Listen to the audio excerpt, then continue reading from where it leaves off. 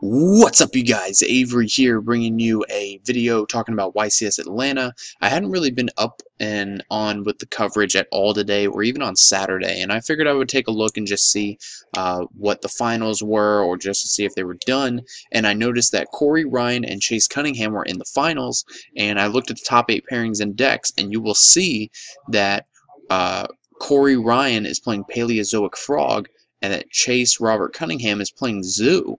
So I'm very interested to see who's going to win this. I mean, yeah, it's probably going to be Zoo, but yet Corey Ryan got into the finals with Paleozoic frogs. I mean, that's definitely not something to be expected. Um, even looking at the uh, the top eight here, of course, it's pretty much filled. It's actually all zoo except for like two Paleozoic frogs. Uh, we've got one, two, three, four, five, six zoo and two Paleozoic frogs.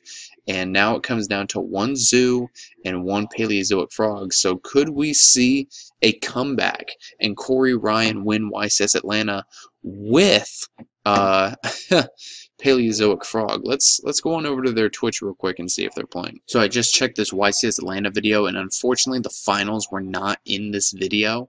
Um, so yeah, there's that. Um, but we will definitely know by tomorrow morning if Paleozoic Frog was able to make a comeback. I'm very surprised that Paleozoic made it into the finals because you would think that with a deck like Zoo, just they wouldn't be able to keep up, you know, especially if Zoo goes first, you know, they make that turn one play and Paleozoic really can't just do anything because you know we can just pop everything or a solemn strike or whatever the case may be. So anyway, just want to give you guys a little news update on YCS Atlanta, and uh, I will be here with an episode tomorrow on what happened at YCS Atlanta. And yeah, other than that, I will see you guys in the next video. Thank you for watching, and goodbye.